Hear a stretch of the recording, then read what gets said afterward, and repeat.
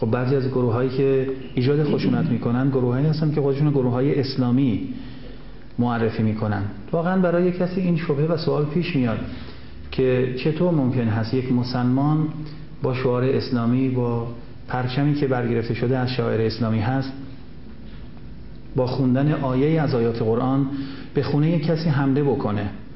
چطور میشه که زن و بچه کسی رو آواره بکنه؟ چطور میشه کودکی رو سر می‌بره؟ و وقتی هم که می‌خواد این کار رو انجام بده یه سرباز بیگناهی رو می‌خواد در حقیقت بکشه می‌بینی که آیه قرآن رو می‌خونه.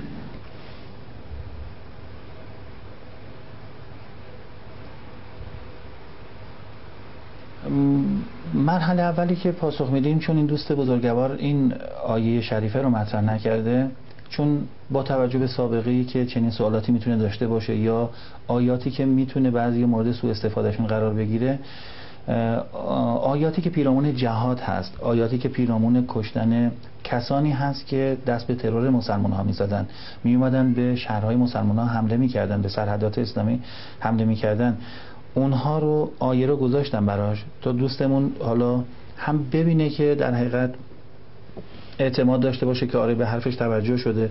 این آیه که اونا استفاده کردن اینجای قرآن داره آدرسش وجود داره. اما روایات توضیحات و تفاصیلی که زیرش وجود داره اون بدونه که در حقیقت این آیه کجا ازش استفاده می شده اول آیه رو آوردم. موردی که توصیه شده و در روایات گفته شده که این آیه برای کجا شعن نزولش در حقیقت کجا هست؟ براش بیان کردن. چون سوال یه برداشت اولیه انسان راجع به سوال داره شروع می‌کنه پاسخ رو. ممکنه که 100 درصد همون چیزی که تو ذهن شخص هست رو درست درک کرده باشه. ممکنه که 10 درصد 20 درصد 30 درصدش. اینه که وارد گفتگو میشیم و می‌تونه این گفتگو تا پست ها و روزهای متعددی ادامه پیدا بکنه.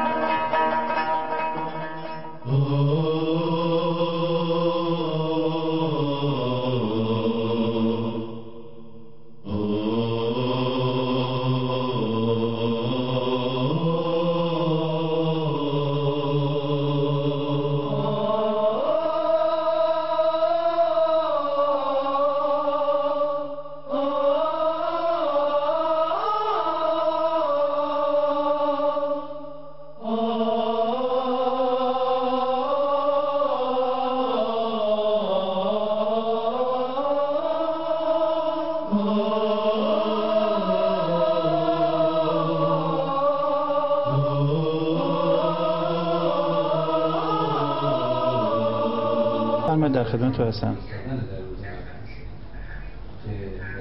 خب.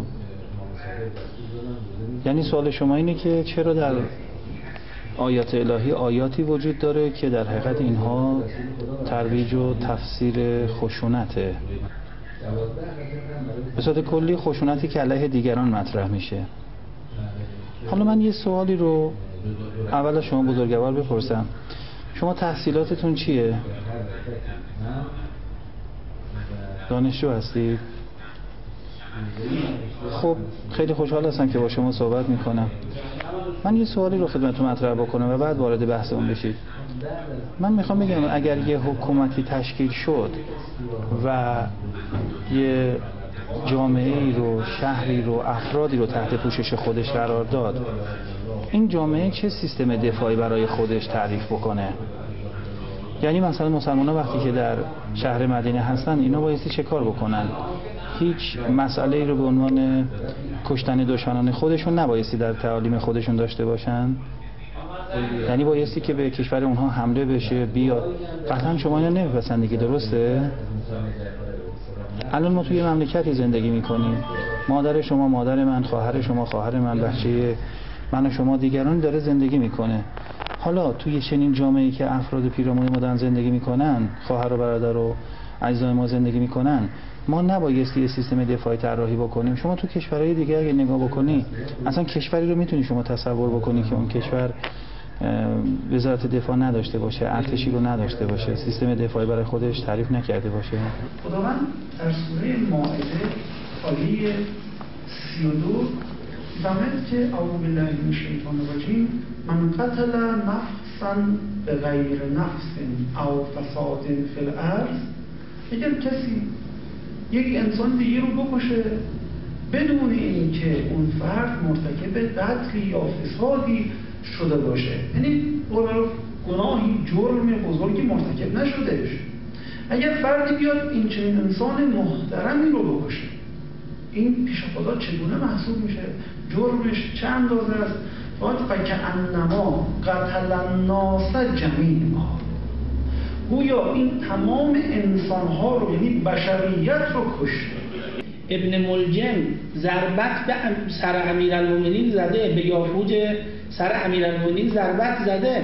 اما امیرالمومنین یه جمله میفرمان این باز ببینید نشانگر این بحث هست که نفوس و حیات برای اسلام چقدر ارزش داره؟ ازا انا متو من ضربته. من خودم می‌دونم که اگر زنده موندم او را چگونه قصاص بکنم؟ اگر من از ضربت او کشته شدم ببینید باز اینجا یه نکته ظریفی در این بخش از روایته. شاید به واسطه این ضربه من کشته نشم به واسطه دلیل دیگری کشته بشم حضرت رضا تاکید می‌کنن. اگر من به واسطه ضربت ابن ملجم کشته شدم شما اون را قصاص بکنید. حضرت تازه اینجا یه بحث دیگه هم میفرمان. میفرمان اگر من زنده بودم خودم چطوره؟ عفوش می‌کنم میبخشمش. من یه آیه رو براتون بخونم یکی از آیاتی هست که شما کسانی که بخوان اعتراضی به قرآن داشته باشن از این جهات و خوب متاسفانه احکام الهی و قرآن رو درک نکرده باشن ببینید که به این آیات تمسک می‌کنن. وقتلوهم حیث سقفتموهم وخرجوهم من حیث اخرجوکم یا شما مثلا سوره مبارکه نساء آیه 89 بیان می‌کنه و دولو تکفرون کما کفروا فتکون سوا تا اینجا که بیان می‌کنه وقتلوهم حیث وجدتموهم این پیرامون چه کسی داره مطرح میشه؟ اون افرادی که افرادی هستن که سخیف اون افرادی که اینها رو به عنوان شعار سمبل خودش استفاده می‌کنه برای تعدی و تجاوز دیگران قطعا مقصود منظور آیه شریفی رو نفهمیده.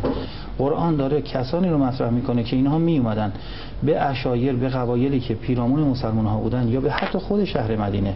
اینها می اومدن تعرضاتی رو داشتن.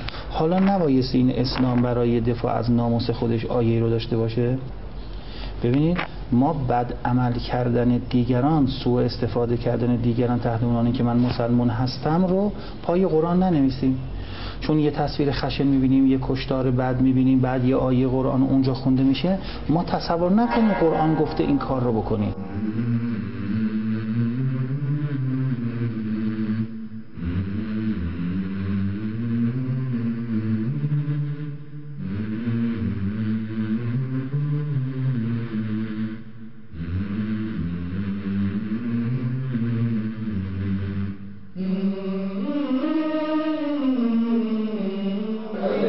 باشه نکته اساسی اینه که ما ملاک و معیارمون در دین و شناخت قرآن رفتار خود پیامبره.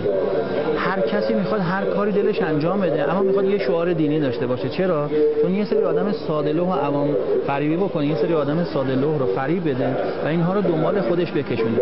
خب بهترین جایی که می‌تونه کار بکنه کجاست؟ یک سری آدم ساده که مسلمان هستن اهل قرآن هستن تلاوت قرآن کرده بگیره بگه این آیه قرآنه دنبالش میدن یعنی دیگه اونجا منطقی وجود نداره.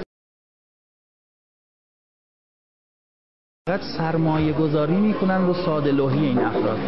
روی در حقیقت ساده بودن این افراد که چون بینش عمیقی ندارن ازشون تو استفاده می‌کنن. بنابراین شما آیا نمی‌تونه کسی به نام موسی به نام عیسی علیه السلام جرم و جنایت بکنه؟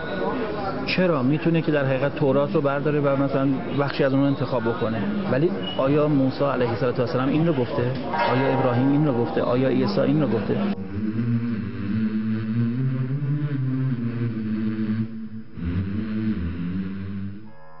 سوال شبهه. همیشه در همه اعثار وجود داشته. مبارزه علیه پیامبران در همه اعثار وجود داشته. یعنی در زمان همه پیامبران الهی علیه اون پیامبران مبارزه می شده. چه اون پیامبر حضرت موسی باشه چه اون حضرت عیسی باشه علی نبینا و علیه و سلام باشه. چه حضرت ابراهیم باشه چه پیامبر اکرم صلوات الله و سلام علیه. چه الانی که ما دیندار هستیم. پس همه زمانها علیه دیندارها حجمه و حملات بوده. اما یه کسی یه دفعه تا یه حجمه بشه دست و پاش بسته بشه پس دیگه این که گفتند قرآن پس چی شد؟ نکنه این قرآن هم اینجور نباشه. ببینید ما نبایستی دست باشه باشیم. نبایستی خودمون رو ببازیم. بایستی بدونیم که الان که با یه شبهه با یک سوال روبرو شدیم بایستی پیش اهل فنش بریم. ما الان داریم رانندگی می‌کنیم. ماشین ممکنه که مثلا ریب بزنه. ممکنه که یه عیب و ایرادی پیدا بکنه. یه دفعه از ماشین میان پایین و اونا دیگه رهاش می‌کنیم دیگه میگیم مثلا به درد نمی‌خوره. دنبال کسی میریم که تخصصش اینه که این ماشین رو بتونه در حقیقت برای ما تعمیر بکنه و حرکت بکنه. الان شبهات سوالات دینی فوق العاده گسترده شده. خانواده ها نگران این که این چه ذهنیتی برای بچه من؟ وای بچه من دستم رفت. وای یه سوالایی می‌کنه راجع به قرآن که من نمی‌فهمم. نکنه کافر شدم. من دست پاچه میشه؟ زحمت زندگی من ثمره زندگی من داره از دست میره. هیچ اشکالی نداره. سوال پیش میاد بایستی به چنین مراکزی به چنین افرادی که آمادگی رو دارن تحصیلاتشون هم در همین زمینه است مراجعه بکنن و آشنا بشن نسبت به پاسخهایی که برای سوالات و شبهات وجود داره.